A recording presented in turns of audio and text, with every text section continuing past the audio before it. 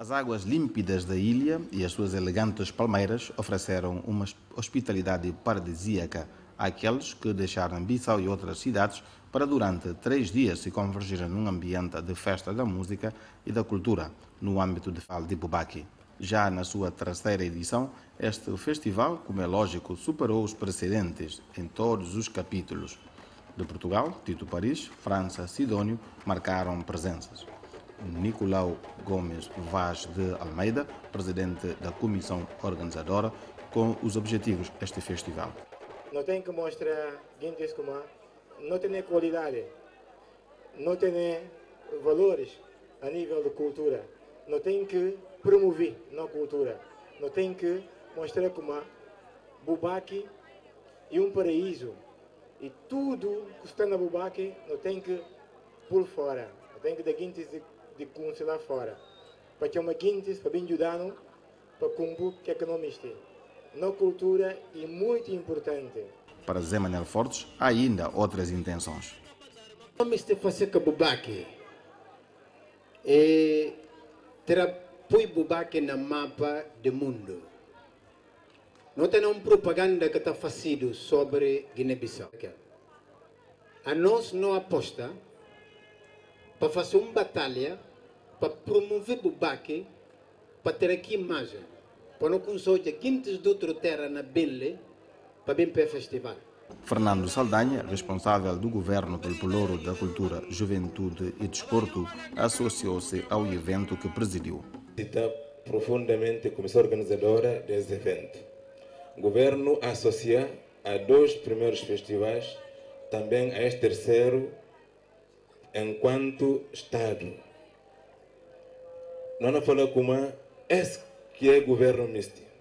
Para não juntar assim a volta no âmbito cultural, âmbito desportivo, âmbito juvenil, que há atividades de massa, de povo, de população.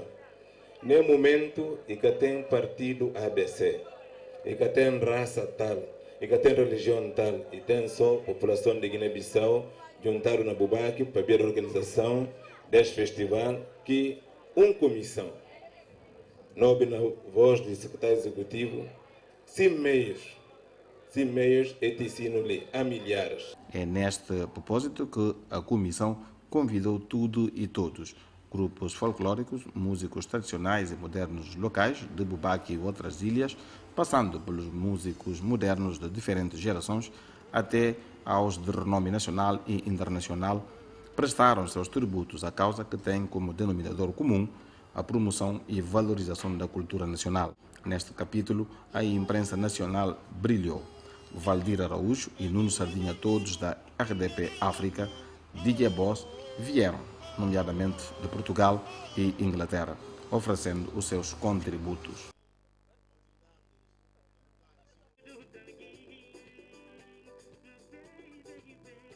Sade Júnior abriu e Justin Delgado fechou foram mais de 23 músicos que desfilaram no palco, situado entre palmeiras da estância balneária de Bubaque, símbolo representativo da ilha. Cada um a seu jeito e estilo.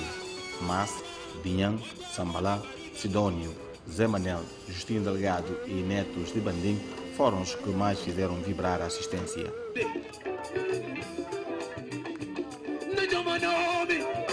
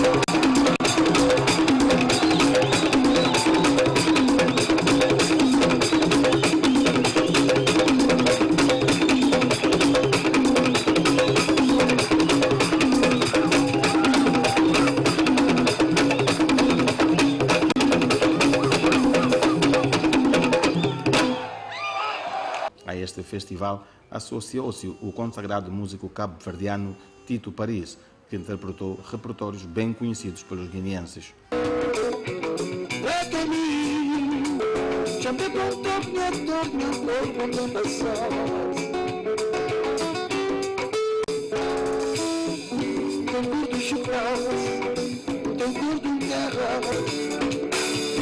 Sol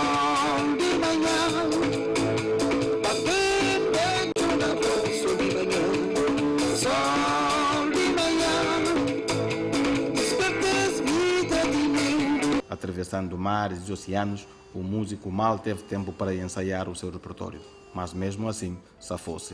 A música não tem fronteira, como sabem, eu acabei de chegar, de chegar aqui hoje. Tive um ensaio muito breve com o violão, juntamente com, com os jovens que me acompanhou. Eh, Devo dizer que, que demonstrou a experiência e a responsabilidade. E nós tentamos eh, eh, a vencer, a- não vencer o público, é o público que nos vence, mas sim vencer essa parte da, da música para juntar Portugal. E foi bom, nós conseguimos. Sobre a sua participação neste festival, Tito responde. Nós, quando, quando se fala, quando, quando se fala disso, é no sentido onde é que esse festival, todas as crianças crescem, não é? Esse festival vai crescer imenso. E esse festival vai crescer com a pessoa que está atrás e também com, com a vossa ajuda, que é da comunicação social, tem que ajudar, Ahm, e com, eh, com a ajuda de todos os músicos e cantores, eh, principalmente cantores que são lusófonos, de, de, de Angola, de, Moçambique, de Cabo Verde, etc., para, para, para- ajudar esse festival para crescer. Porque hum, Cabo Verde começou a ser conhecido internacionalmente depois que começamos a fazer os festivais. Eu espero que Guiné-Bissau também vai no mesmo caminho, porque a Guiné é um, é um país com muita potência. Veja, nós sentimos no ar a potência da Guiné-Bissau, tem pernas para andar. Quem pensa que Tito está distanciado da cultura nacional está redondamente enganado. E isto não é de agora. Eu sempre tive ligação com a música guinense. Eu sou muito amigo pessoal do Justino Delgado, o Stephen Gibson. Gravei, fiz uma parceria com, com o Clique, no disco dele, no último disco dele. Tenho, eh, em 1975, tinha eu 11 anos. Tenho orgulho a dizer to- toda a gente, porque poucos, poucos, poucos guineenses sabem, porque eu, eu abri o concerto do Zé Carlos Soares, ou seja, os, os colombianos já, lá em São Vicente, os meus colegas, e devo dizer que eu, eu tenho com Guiné há muitos anos de, de, de armamento, de, de cultura e de amizade. Tito, a viagem foi rápida, não deu para perceber muita coisa sobre o tour da paisagem, da Guiné-Bissau, da maravilha que esse país tem. De Bubaque, que impressão tem? Olha, de Bubaque devo dizer que eu sinto-me em casa. Primeiro sou da ilha, sou de uma ilha chamada São Vicente. Eu sinto-me em casa. Eh, Bubaque é mais verde, claro. Mas devo dizer que eu hei de voltar, se Deus quiser, no Bu- Bubaque, talvez com a minha família, para vir passar aqui uma semana, quem sabe. Isso é fantástico. E, e tentar compor alguma coisa e trocar experiência com os músicos da Guiné, que é o que, nós, eh, que- é o que os humanos deve- deveriam fazer, trocar a experiência. De Bubaque, onde viajou de um pequeno aeronave, o músico foi cabeça de cartaz deste festival que prometeu mais participação. Começar é que é mais difícil. Daí, eu acredito.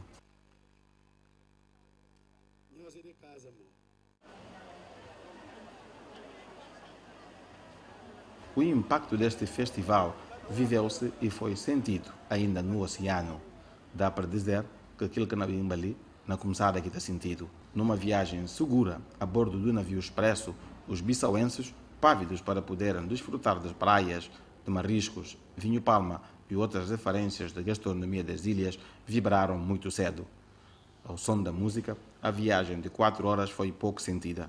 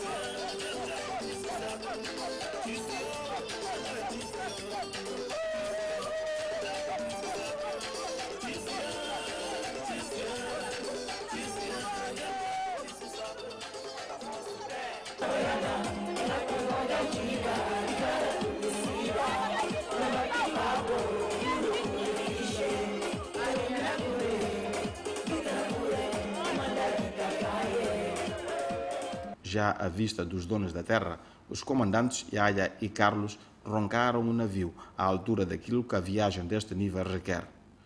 O desembarque foi organizado e pacífico. O calor humano não faltou, como também os conselhos próprios para aglomerações desta envergadura e, sobretudo, quando diz respeito aos jovens. Já hospedados, todos os caminhos deram para a estância, local que abrigou dezenas de barracas onde de tudo havia: bebidas, músicas e mais que podia tirar água na boca a qualquer um. Foi assim durante os dias 22, 23 e 24. Começava a tardinha e terminava só de madrugada. Foi uma Páscoa bem memorável para todos que tiveram a felicidade em testemunhar